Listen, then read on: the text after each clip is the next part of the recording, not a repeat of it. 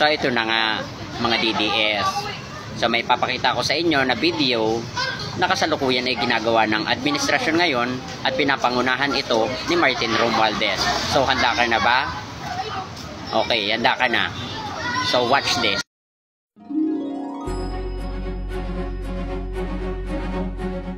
In the heart of Quezon City, the National Kidney and Transplant Institute, or NKTI's hemodialysis building, will soon rise.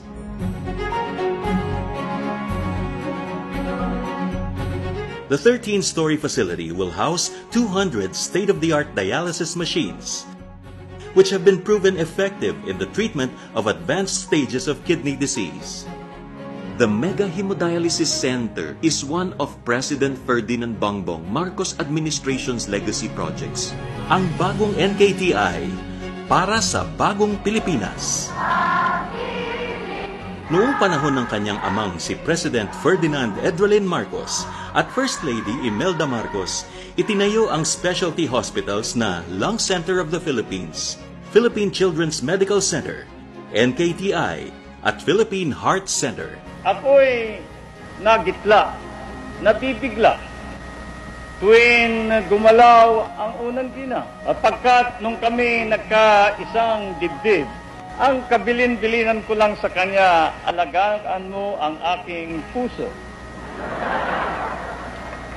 At ngayon, tignan mo ang ginawa, napakalaking pag-aalaga.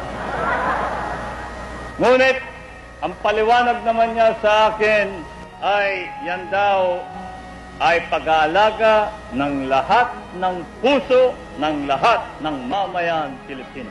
Itinayo ang mga ito para mas mapalapit sa masang Pilipino ang world-class na mga espesyalista, pasilidad, at pinakabagong medical equipment at teknolohiya.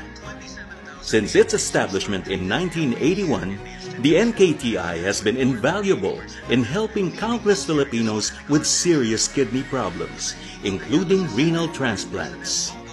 More than 35,000 outpatients and 27,000 inpatients are treated every year in the institution, with more than 80% of them needing serious medical attention.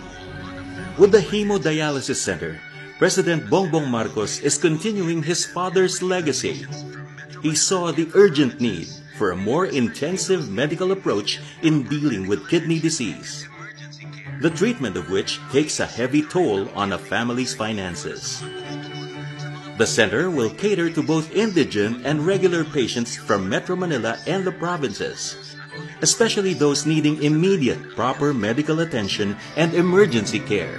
Sige nga mga DDS, anong ginawa ng tatay niyo?